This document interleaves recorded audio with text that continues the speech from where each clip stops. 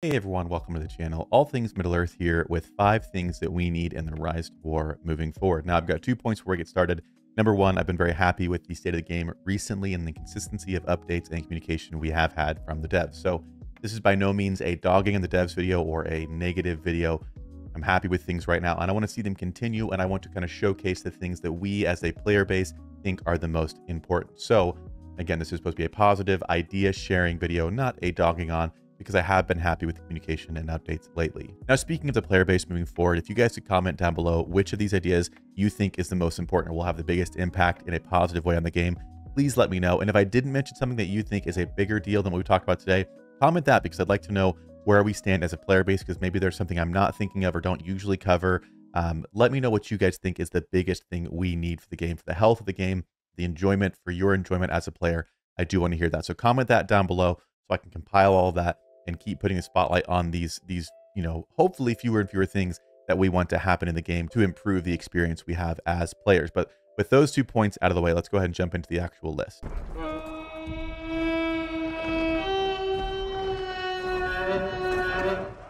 Now, I will say as sort of a, a qualifier again before we jump into the actual list, I did not include a respect refund system as an item here because I cover it in a lot of other videos. We talk about it on stream a lot. I've made its own videos for that. So I do think that's a huge thing. And if that is for you the biggest thing you think this game needs, then comment that. But that's not included as an item on this list. The actual number one item, and again, these are not in order of, of priority for me, but the first item on the actual list is two new commanders being added to the game, being Balrog and Bard. Now, these commanders specifically I mentioned because over about nine months ago, we were told in the one year anniversary that they were coming to the game. Balrog, we were told, didn't have a timeline, but was going to be coming to the game and Bard was mentioned along with Beorn and Ogglarg with the same kind of concept art, uh, and we just haven't heard anything since. So to me, it's kind of odd as a player to be told during a thing as big as a one-year celebration that this exciting character's coming to the game, and then it not happen. So communication on that point, just letting us know if those are not going to happen, or a timeline roughly for new commanders and how often they're coming to the game now,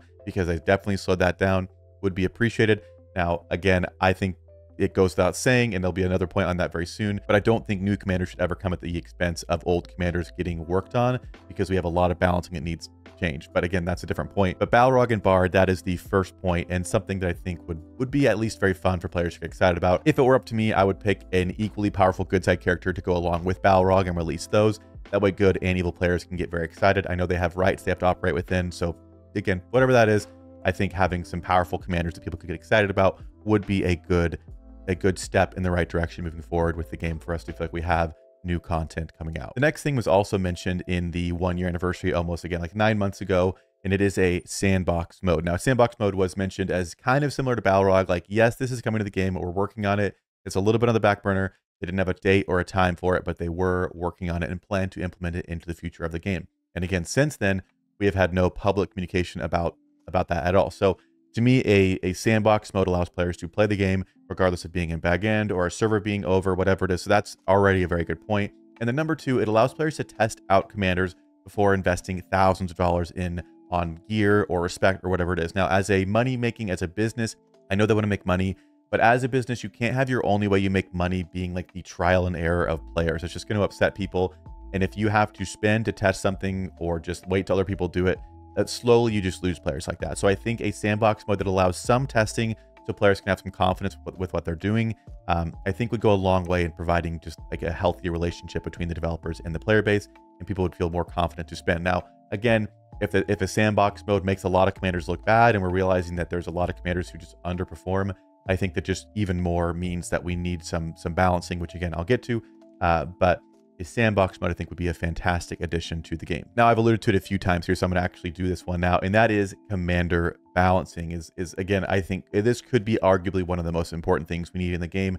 There are just commanders who do not stack up with other commanders in the game, and it's very very noticeable. So the meta that we have, the commanders that get used, it's it's a very small list that can compete with each other, and there are some who, at high respect with good gear, just don't stack up. I'm not saying we need massive overhauls and reworks and all that, but I think some slight adjustments to abilities or new abilities being added to, to certain characters, I think would go a long way. And again, with what I talked about earlier in the game, uh, again, with new commanders coming out, I think before you add new, you need to fix what you have. So I think this point is very crucial for the first two, because if we have a little bit more balance with the commanders we already have, then you can add new commanders and have players really enjoy that. Then you can have a sandbox mode and not worry that it's going to shine a spotlight on your bad commanders that are in the game, but instead it just allows players to see, wow, there's actually a lot of commanders who are viable, and I can actually just play with my favorites. So, commander balancing, there are enough players in the community who I think for free would probably like to go through and kind of draw up actual like rework ideas that the devs could literally take and implement. Now, again, I'm not a developer. I don't know how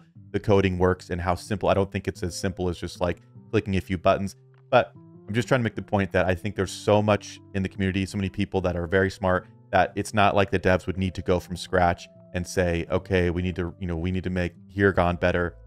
There are probably lots of people that if the call was put out to say, hey, how can we make Hirgon a little bit better and, and to perform a little bit better as a tier one commander? What does that look like? You could probably get a lot of really good ideas to, to start that process. So anyway, commander balancing, that's a huge one. You really, really need some of that. And again, couple two commanders a month, and I think people would be really happy and the game would just start moving forward in a way better direction. Next up is unique items for commanders. Unique items, if you don't know, are a respect 10 item that once you respect 10, you complete quests and you get mithril and you unlock these items that are unique to that commander and only that commander. The problem is, while being a unique item that is only obtainable by these commanders, and some of them, as, as you move up to tier two and tier three commanders, get very, very expensive.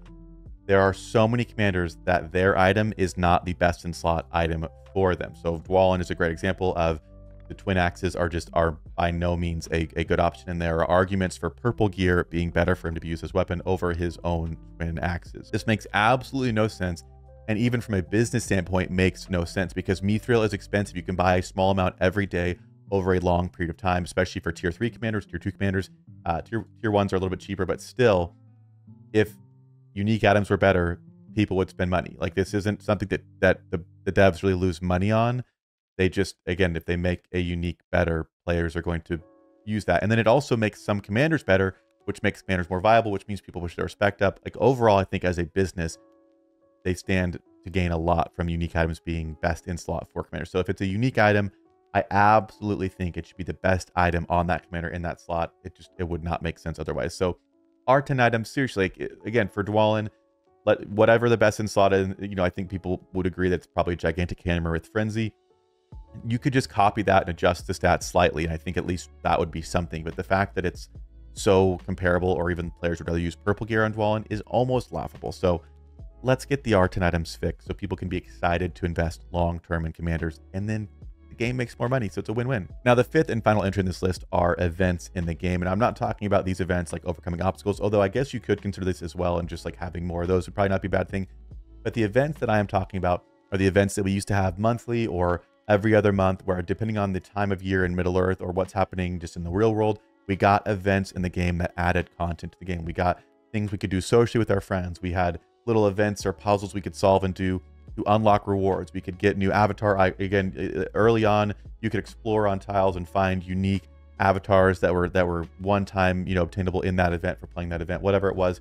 We had all kinds of cool stuff with events that I really, really enjoyed, and they are just getting fewer and far between with the different events. So I honestly think if it's possible for them just to copy and paste into the same events, people would probably be happy with that, at least compared to nothing. The Yule Festival is a good example where all they had to do was copy the Yule Festival from the year before, and players would have been happy, but they somehow managed to make that one worse. So they should have a, a good idea of how events were received because they probably got a lot of feedback on them. If, if it was a well received event, I would just be re like every year have those coming out at the same time. Uh, there was a Halloween event that would be coming up relatively soon uh, that I think was generally well received. So I would like to see that come back without major changes that make it worse. If anything, make them better, sure, but like let's set the bar at least at just maintaining what they were. I think that would be that would be exciting. But it'd be very cool if we had things to look forward to that, you know, once a month or every other month. You're looking forward to an event starting, which means you could save your Mathoms for it. You could spend money if you want to. You could get some some gear or some respect by just playing the event, not participating. Uh, it just makes the experience better for everyone. So more events and more quality events that have playable content, I think would be huge. But that is going to do it for our list of five things that we need to happen in the game moving forward. Again, let me know down below which item you think is the most important, or if I didn't say an option, comment that because I do want to see what is the most kind of agreed upon idea for, for you know, the player base in terms of what we want in the game. Again, long term, I'd like to see all these things happening, but I, I understand that things take time. uh, and that that everything kind of impacts the game as a whole. So certain things have to be thought through. I'm okay with that. Uh, but let's just pick one thing. Let's let's give it some attention, and then hopefully get some feedback on why or why not it can't happen or why it's taking a long time. Whatever it is, I think a lot of people are pretty reasonable. And if we were told yes, we're doing this, this is just why it's taking a long time, or no, we're not doing this, and this is why. I think players are gonna at least be able to accept that and move on. Let us let us kind of grieve if Balrog Commander's not coming for whatever reason, or let us still be excited if yes, okay, it is coming. Here's a rough date and timeline. Here's a road ahead or whatever it is. So anyways, that's going to do for this video. Let me know down below what you guys think. And as always, I'll see you in a future one.